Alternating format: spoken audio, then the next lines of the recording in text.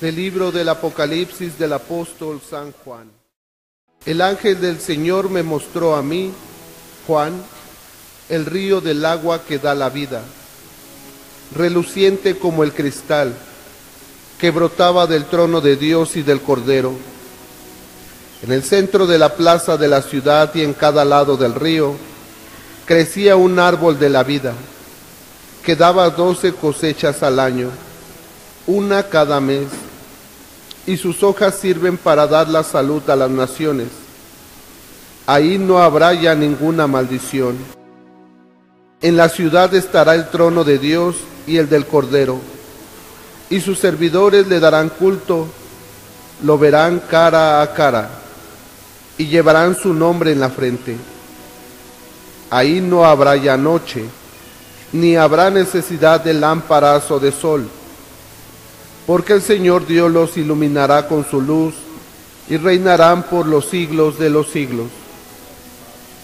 Luego el ángel me dijo, estas palabras son verdaderas y dignas de crédito. El Señor Dios, que inspiró a los profetas, ha enviado su ángel para comunicar a sus servidores lo que tiene que suceder en breve. Ya estoy a punto de llegar. Dichoso quien le hace caso al mensaje profético contenido en este libro. Maranata, ven Señor Jesús. Venid, aclamemos al Señor, demos vítores a la roca que nos salva. Entremos a su presencia, dándole gracias, aclamándolo con cantos. Maranata, ven Señor Jesús porque el Señor es un Dios grande, soberano de todos los dioses.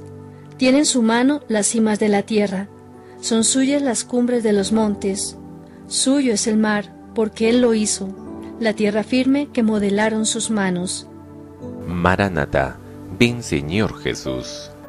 Entrad, postrémonos por tierra, bendiciendo al Señor Creador nuestro porque Él es nuestro Dios y nosotros su pueblo, el rebaño que Él guía.